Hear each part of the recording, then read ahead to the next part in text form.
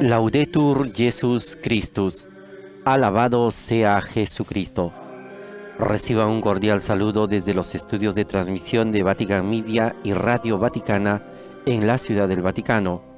Soy Renato Martínez y a nombre de todos los integrantes del equipo de Vatican News les damos una fraternal bienvenida a la transmisión en directo de la Santa Misa presidida por el Papa Francisco en la capilla de la Casa Santa Marta, hoy 22 de abril miércoles de la segunda semana de Pascua.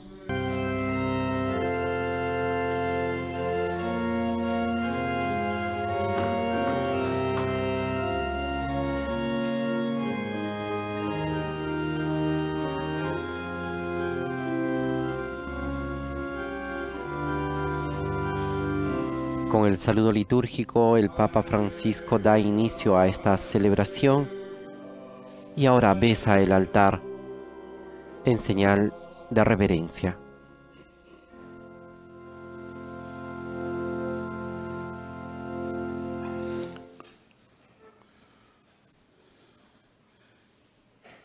questo nel tanta. En este tiempo en el cual necesitamos tanta unidad entre nosotros, entre las naciones, oremos hoy por Europa para que Europa logre tener esta unidad, esta unidad fraterna, que nuestros padres fundadores de la Unión Europea lo, que, lo quisieron así. Te alabaré entre las naciones, Señor, y anunciaré tu nombre a mis hermanos. Aleluya. En el nombre del Padre, y del Hijo, y del Espíritu Santo. Amén. La paz esté con ustedes. Hermanos, para celebrar dignamente estos sagrados misterios, reconozcamos nuestros pecados.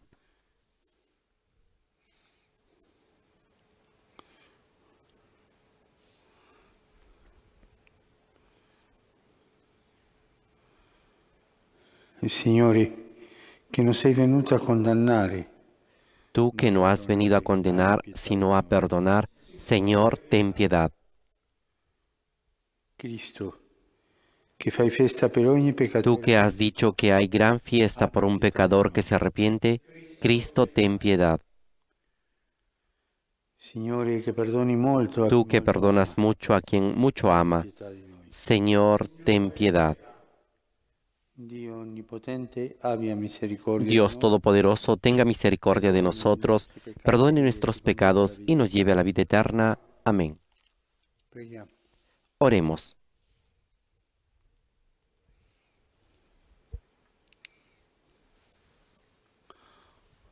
O Padre, che nella Pasqua del tuo Figlio hai ristabilito Señor nuestro, al celebrar el misterio pascual que cada año renueva la dignidad original del hombre con la esperanza de la resurrección, te pedimos humildemente que obtengamos con amor lo que celebramos con fe.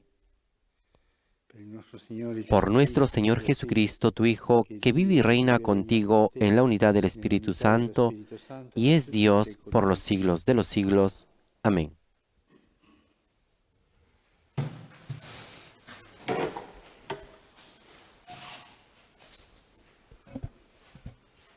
Dagli Atti degli Apostoli. Lectura de los In Hechos de los Apóstoles. Con tutti quelli della sua parte,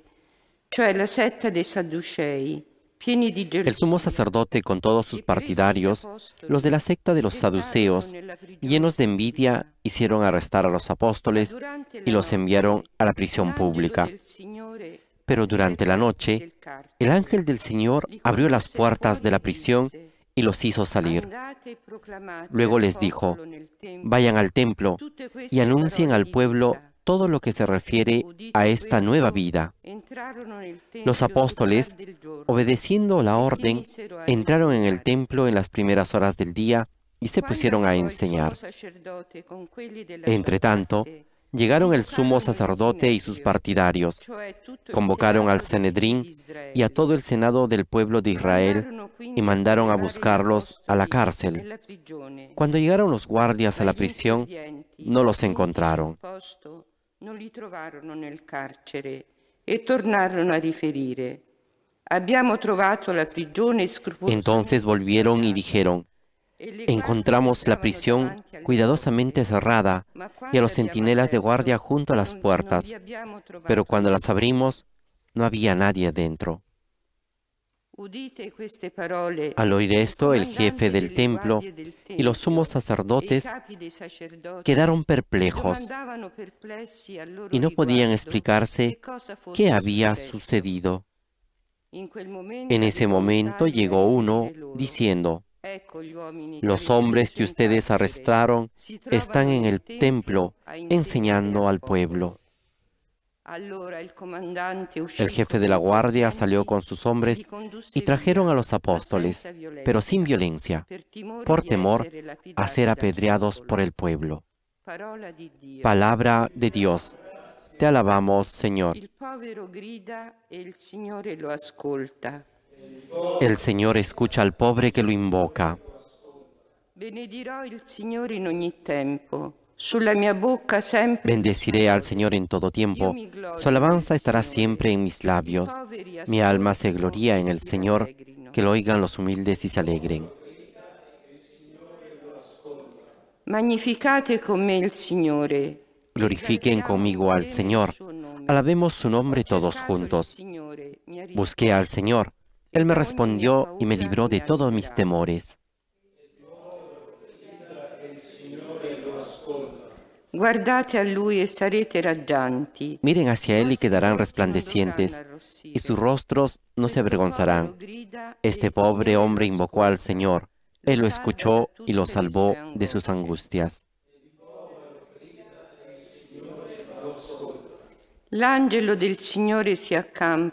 El ángel del Señor acampa en torno de sus fieles y los libra. Gusten y vean qué bueno es el Señor. Felices los que en Él se refugian.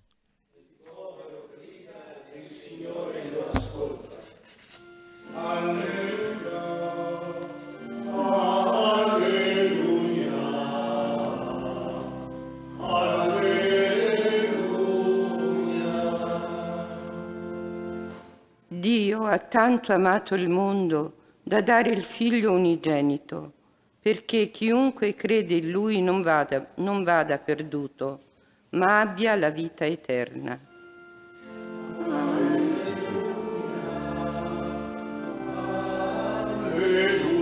La aclamación al Evangelio tomado del evangelista Juan dice, Dios amó tanto al mundo que entregó a su único Hijo, todo el que cree en Él tiene vida eterna.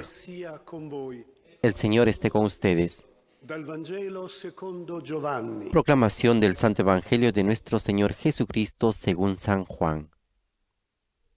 En quel tempo Gesù disse a Nicodemo, Dio ha tanto amato il mondo.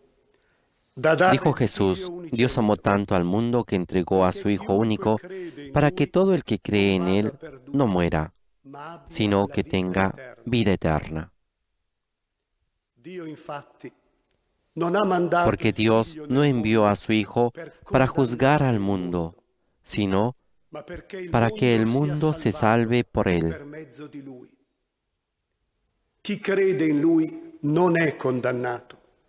El que cree en él no es condenado. El que no cree ya está condenado, porque no ha creído en el nombre del Hijo único de Dios. El juicio es questo. La luce è venuta nel mondo. En esto consiste el juicio. La luz vino al mundo y los hombres prefirieron las tinieblas a la luz, porque sus obras eran malas. Todo el que obra mal odia la luz y no se acerca a ella por temor de que sus obras sean descubiertas. En cambio, el que obra conforme a la verdad se acerca a la luz, para que se ponga de manifiesto que sus obras han sido hechas en Dios. Palabra del Señor. Gloria a ti, Señor Jesús.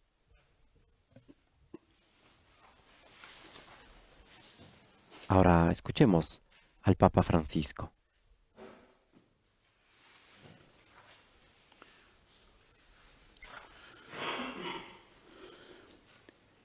Questo passo del Vangelo di Giovanni, capitolo. Este pasaje del Evangelio de Juan en el capítulo 3 del diálogo entre Jesús y Nicodemo es un verdadero tratado de teología. Aquí es, hay todo. Il kerigma, la catequesi, la riflessione teologica. El querigma, la catequesis, la reflexión teológica, todo está en este capítulo. Cada vez que nosotros lo leemos, encontramos más riqueza, más explicaciones, más cosas que nos hacen entender la revelación de Dios. Sarebbe bello leggerlo, Sería hermoso leerlo muchas veces per avvicinarci al mistero della redenzione. para acercarnos al misterio de la redención. Hoy solo tomaré dos puntos de todo esto, dos puntos que están en el pasaje del Evangelio de hoy. Il primo è la rivelazione dell'amore di Dio.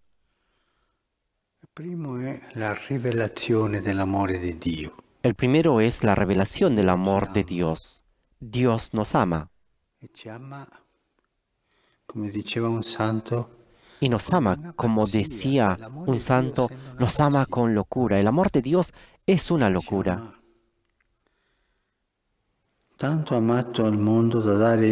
Nos ama. Tanto amó al mundo que entregó a su Hijo único. Ha dado a su Hijo e lo ha inviato per morire in croce. y lo ha enviado para que muera en la cruz. Cada vez que nosotros miramos al crucificado, Troviamo questo amore. encontramos este amor. El crucifijo es el gran libro del amor de Dios. Non è un oggetto da mettere qui o mettere là. No es un objeto que se tiene que poner aquí o allá, o tiene que ser nuevo, moderno o antiguo. Es precisamente la expresión del amor de Dios. Dios nos ha amado así, enviando a su Hijo, y su Hijo se aniquiló, se anonadó hasta la muerte de cruz por amor. Tanto amó al mundo Dios que entregó a su Hijo único. Quanta gente, quanti cristiani passano il tempo Cuánta gente, cuántos cristianos pasan el tiempo mirando al crucificado y ahí encuentran todo, porque han entendido y el Espíritu Santo les ha hecho entender que ahí está toda la ciencia, todo el amor de Dios, toda la sabiduría cristiana. Paolo parla di questo spiegando che Pablo habla de esto explicando que todos los razonamientos que hacen los seres humanos sirven hasta cierto punto, pero el verdadero razonamiento, el modo de pensar más hermoso, lo que explica e todo es la cruz de Cristo y y Cristo crucificado, que es escándalo y locura, que es el camino. Este es el amor de Dios. Dio tanto amato il mondo da dare il figlio unigenito, Dios amó tanto al mundo que entregó a su Hijo único, ¿Y para qué?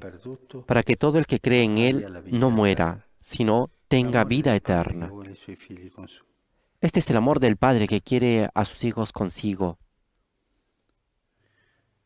Guardare il crocifisso in silenzio, guardare le piaghe, guardare il Mirar al crucificado en silencio, mirar las llagas, mirar el conjunto, mirar el todo, a Cristo crucificado, el Hijo de Dios, aniquilado, humillado por amor.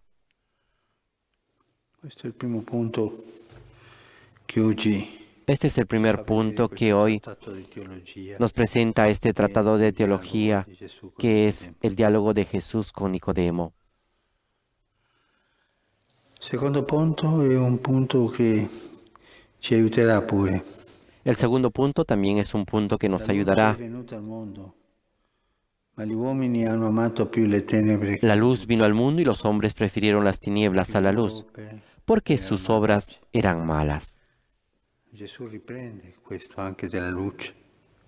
Jesús retoma esto también de la luz. Anche noi tante volte, Hay gente, e incluso nosotros muchas veces, no podemos vivir en la luz,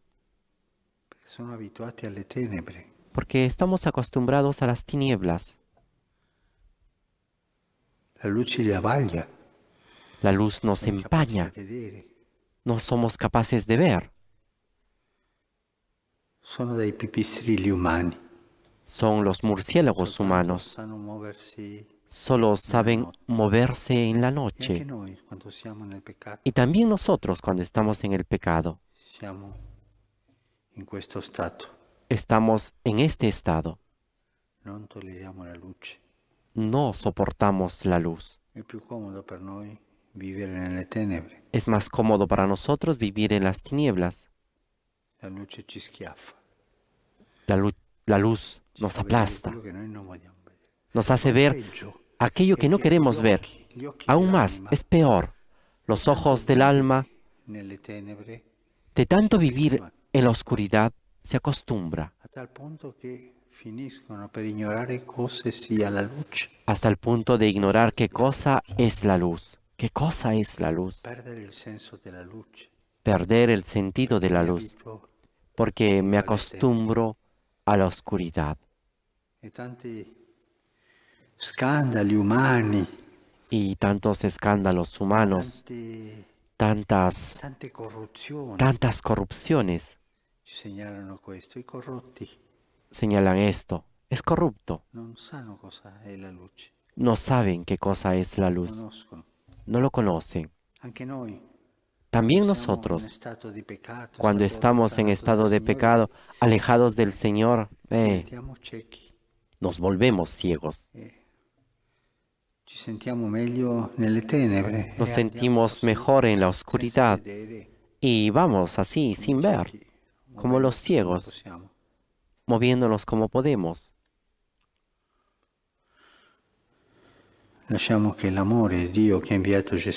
Dejemos que el amor de Dios que ha enviado a Jesús para salvarnos entre en nosotros. Que la luz que trae Jesús, la luz del Espíritu, entre en nosotros y nos ayude a ver las cosas con la luz de Dios, con la luz verdadera y no con la oscuridad que nos da el Señor de las tinieblas. Dos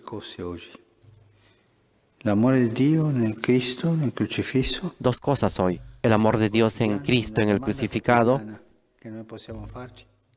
Y la pregunta cotidiana es, ¿yo camino en la luz o camino en la oscuridad? ¿Soy hijo de Dios sono finito per essere un povero pipistrillo? o he terminado por ser un pobre murciélago?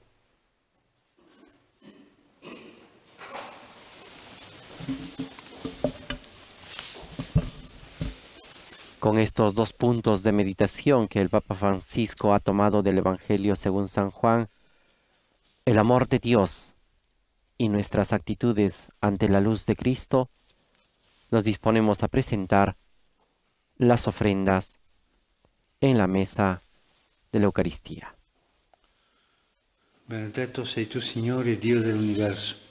Bendito sea Señor Dios del universo por este pan, fruto de la tierra y del trabajo del hombre que recibimos de tu generosidad y ahora te presentamos.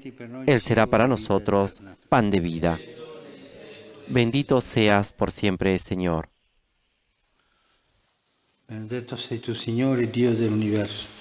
Bendito sea Señor Dios del universo por este vino, fruto de la vid y del trabajo del hombre que recibimos de tu generosidad y ahora te presentamos. Él será para nosotros bebida de salvación. Bendito seas por siempre, Señor.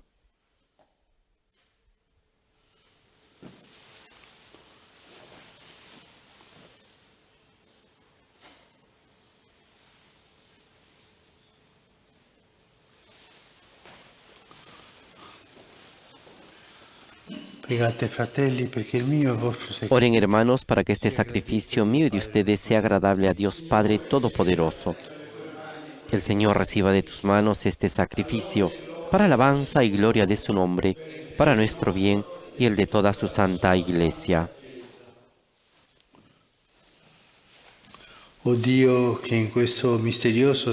de Dios nuestro, que por este santo sacrificio nos concedes participar a tu vida divina, te pedimos que así como hemos conocido tu verdad, vivamos de acuerdo con ella. Por Jesucristo nuestro Señor. Amén.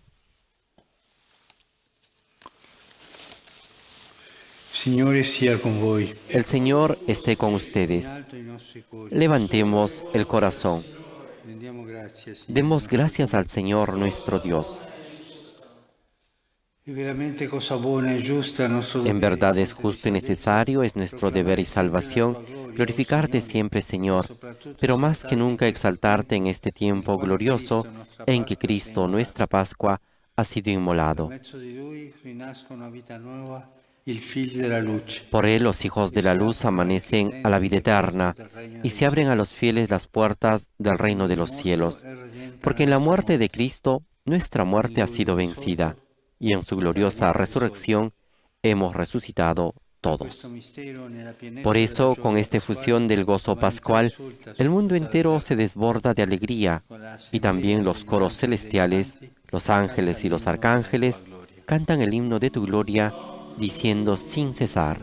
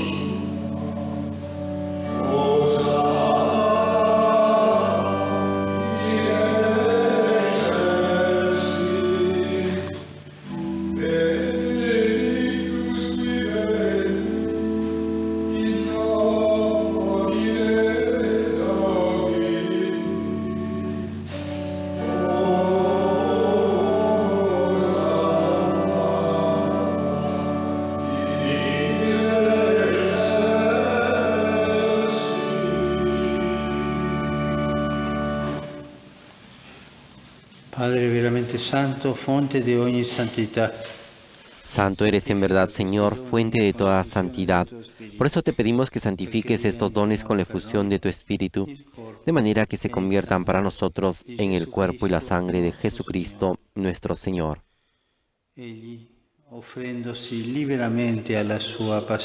Él mismo, cuando iba a ser entregado a su pasión, voluntariamente aceptada, tomó pan, dándote gracias, lo partió y lo dio a sus discípulos, diciendo,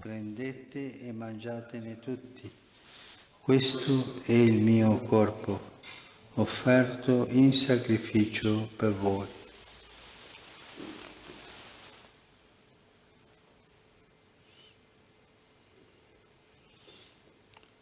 Dopo la cena, allo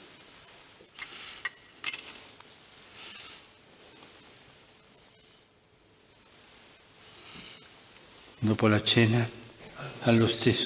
Del mismo modo, acabada la cena, tomó el cáliz y dándote gracias de nuevo, lo pasó a sus discípulos, diciendo, prendete bevetene tutti.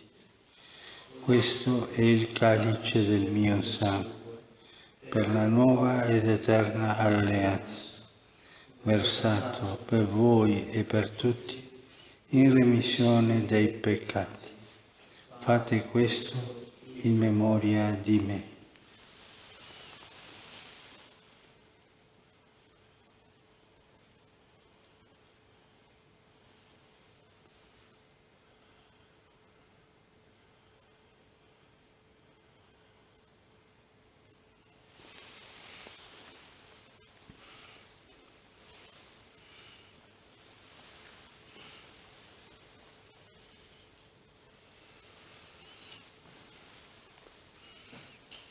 Misterio de la fe. Este es el misterio de la fe. Anunciamos tu muerte, proclamamos tu resurrección. Ven, Señor Jesús. Celebrando il memoriale de la muerte y resurrección. Así, Padre, al celebrar ahora el memorial de la muerte y resurrección de tu Hijo, te ofrecemos el pan de vida y el cáliz de salvación. Y te damos gracias porque nos haces dignos de servirte en tu presencia. Ti preghiamo per la comunione al corpo e al sangue di Te pedimos humildemente que el Espíritu Santo congregue en la unidad a cuantos participamos del cuerpo y la sangre de Cristo. Acuérdate, Señor, de tu iglesia extendida por toda la tierra, y con nuestro obispo, el Papa Francisco, y todos los pastores que cuidan de tu pueblo, llévala a su perfección por la caridad.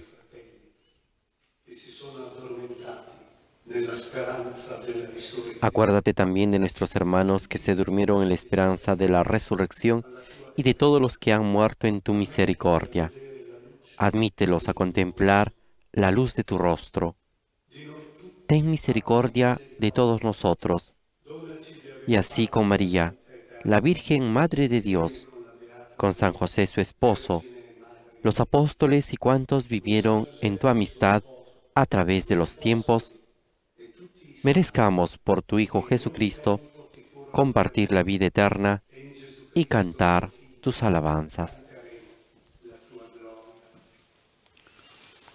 Per Cristo, con Cristo, in Cristo. Por Cristo, con Él y en Él. A ti Dios Padre Omnipotente, en la unidad del Espíritu Santo, todo honor y toda gloria por los siglos de los siglos. Amén.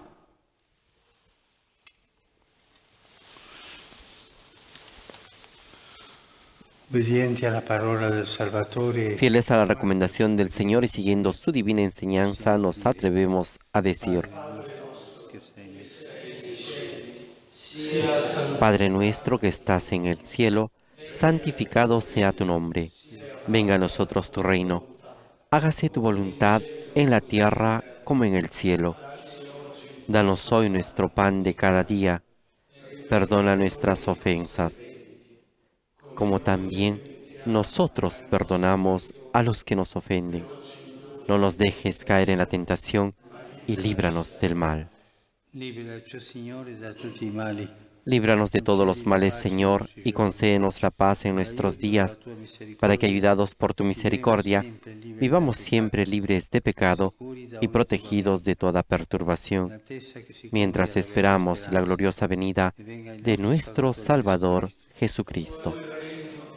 Tuyo es el reino, tuyo el poder y la gloria por siempre, Señor. Señor Jesucristo, pace". que dijiste a tus apóstoles, la paz les dejo, mi paz les doy. No tengas en cuenta nuestros pecados, sino la fe de tu iglesia. Y conforme a tu palabra, concédele la paz y la unidad, tú que vives y reinas por los siglos. Amén. la pace del Signore sia sempre con voi. La paz del Señor esté siempre con ustedes. Intercambien un signo de paz.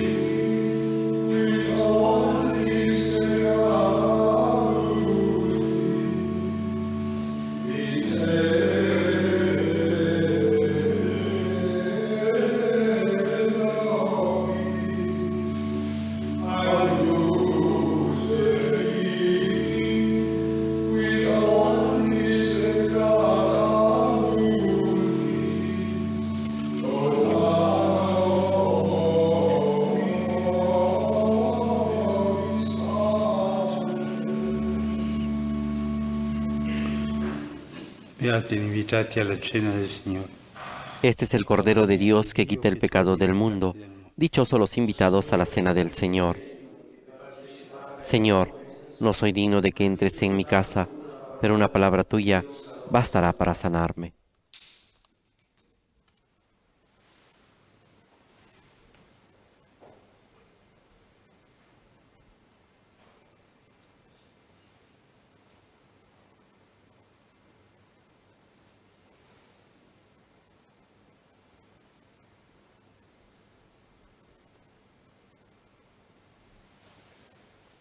Este miércoles de la segunda semana de Pascua, la liturgia nos presenta en la tifona de comunión una inspiración del Evangelio según San Juan.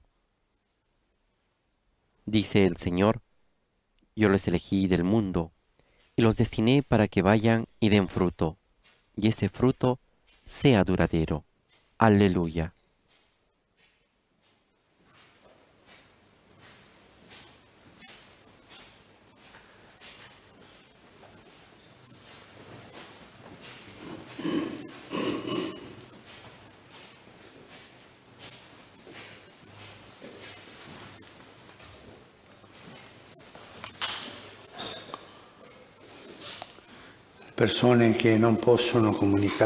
Las personas que ahora no pueden comulgar pueden hacer la comunión espiritual.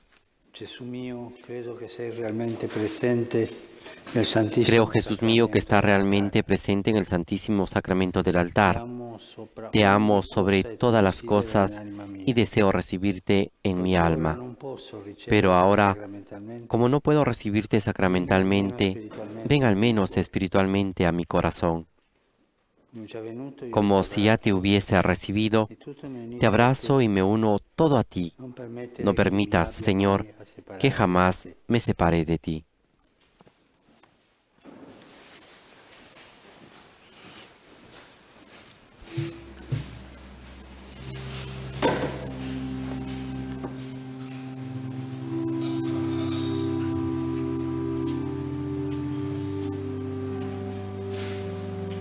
Ahora nos disponemos para poder tener este encuentro diario, este encuentro personal con el Santísimo Sacramento, con este Cristo del cual el Evangelio de Juan nos habla, el Hijo de Dios que fue enviado al mundo para rescatarnos, para salvarnos. Y el Papa hoy nos ha invitado precisamente a mirar a Cristo crucificado. Como decía San Pablo, Ahí está toda la sabiduría y la ciencia que los hombres tienen que entender. Ese es el camino. Este Cristo resucitado que ha vencido a la muerte y al pecado y con su resurrección nos invita a todos ser hijos de la luz y a caminar con la luz de Cristo. Presentemos a Jesús en la Eucaristía nuestras preocupaciones nuestros problemas, nuestros sueños, nuestros temores, también nuestros gozos y esperanzas. Él está ahí, en la Eucaristía, que nos espera para dialogar con Él.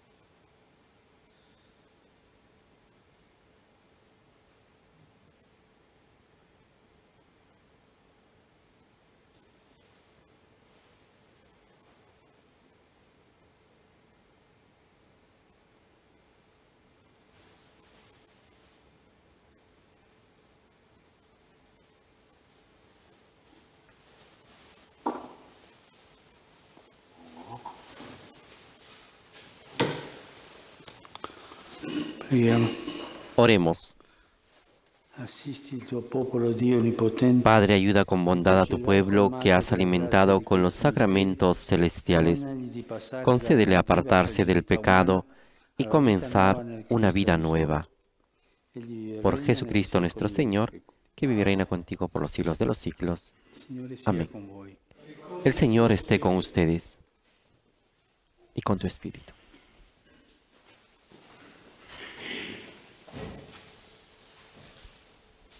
Ahora dispongamos nuestro corazón y nuestra alma para poder recibir la bendición con el Santísimo Sacramento.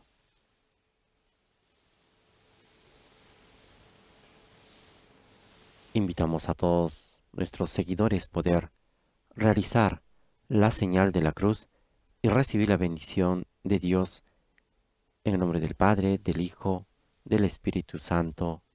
Amén.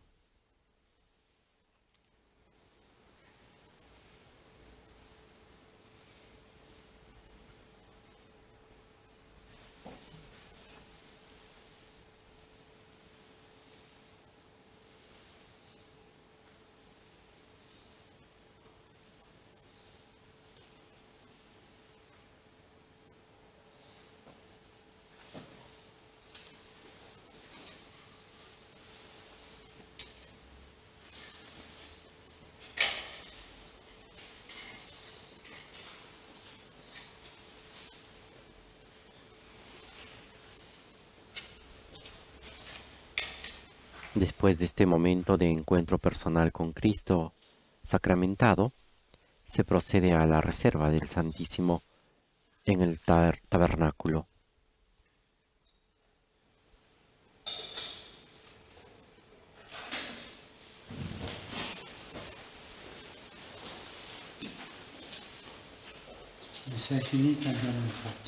La misa ha terminado, podemos ir en paz. Demos gracias a Dios.